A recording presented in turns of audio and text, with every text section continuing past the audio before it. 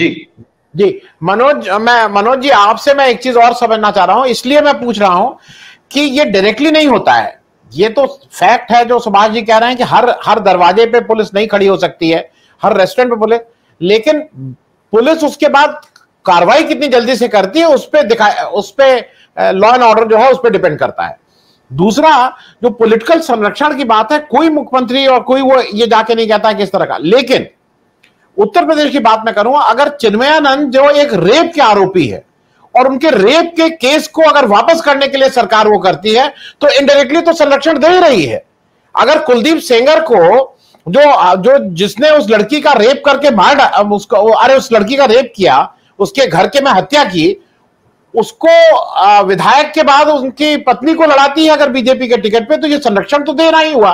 तो मनोज सिंह साहब, मैं जरा आपसे समझना चाह रहा हूँ क्या इस जो बात सुभाष जी ने कही, क्या माँ बाप इससे बिल्कुल बरी हो जाते हैं कि हाँ भाई हमसे कोई मतलब नहीं, लड़के ने किया, लड़के को सजा दीजिए। मनोज जी। देखिए, एक बात तो ये है कि शर्मा जी जो बातें कर रहे थे, एक तो मैं उससे एकदम इतफाक नहीं रखता और वो वो समझ में नहीं आ रहा था कि वो कहना क्या चाहते हैं, कि इसमें कभी वो कह रहे थे कोई वीआईपी नहीं आता है मुख्यमंत्री जिम्मेदार नहीं है और ये सब जिम्मेदार नहीं है।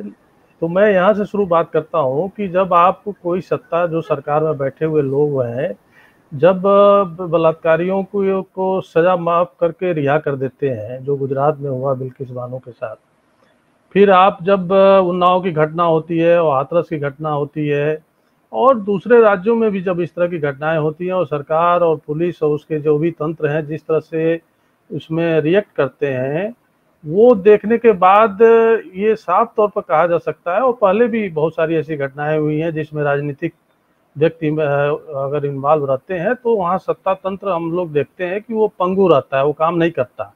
आप आप देखिए कि पुलकित आर्य के मामले में क्या है? ये तो रिसार्ट ही के तो बारे में ये सूचना आ रही है कि वो अवैध है।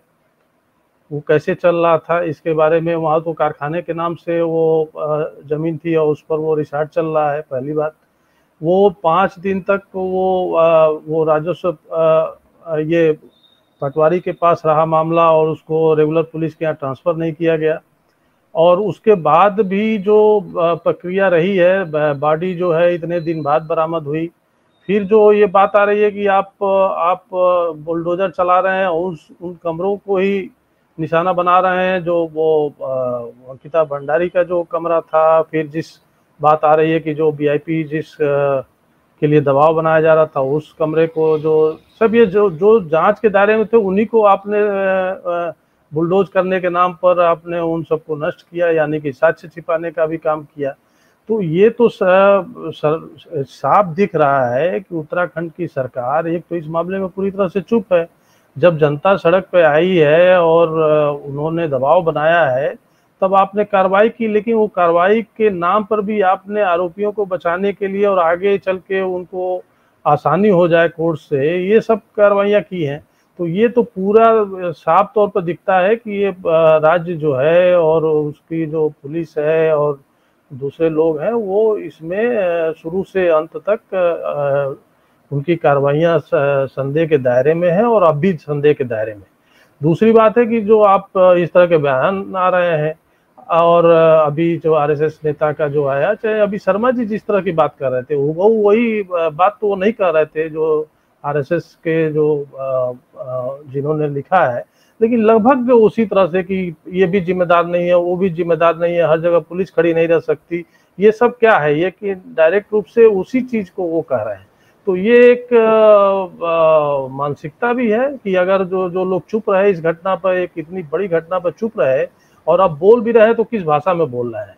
तो यह भी एक उसी तरह से एक संरक्षण देने वाला ही काम होता है कि ऐसे ऐसे अपराधों को आप प्रत्यक्ष या अप्रत्यक्ष रूप से जिस तरह संरक्षण देते हैं, यह उस तरह की ही भाषा है।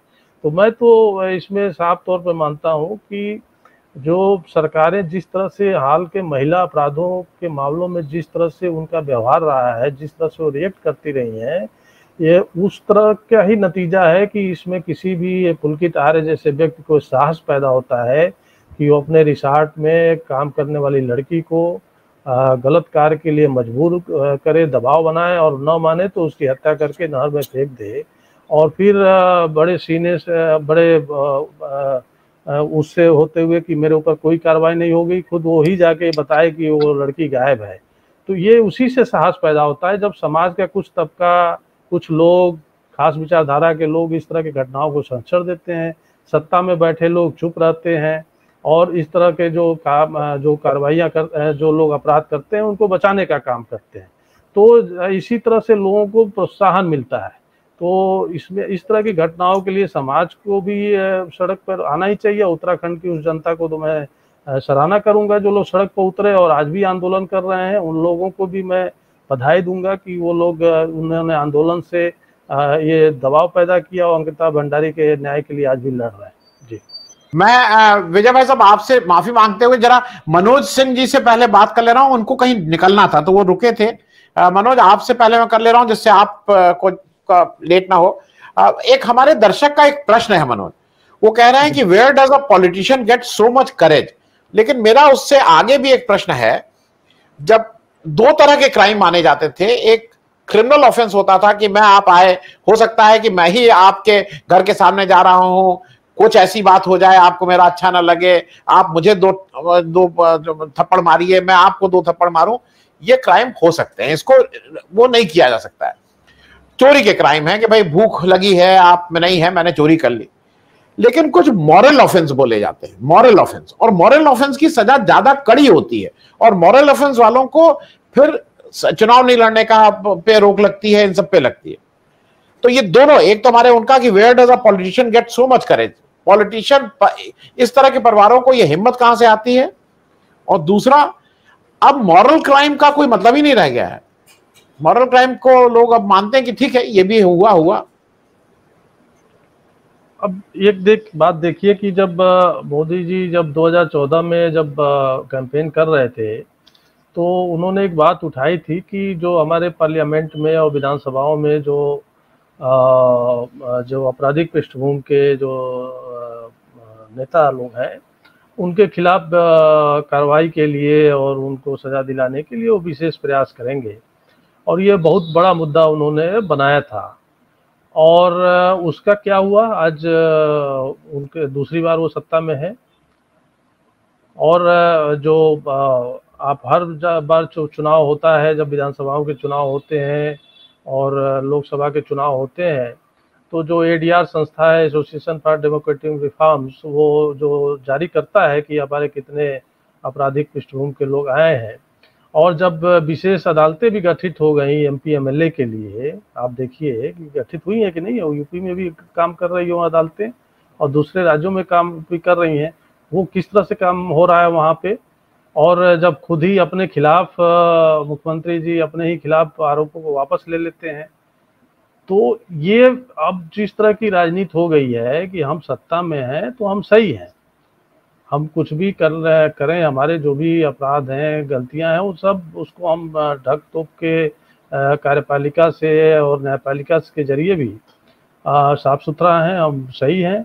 और जो दूसरे लोग हैं विपक्ष में हैं, वो वो सब करप्ट हैं और दोषी हैं।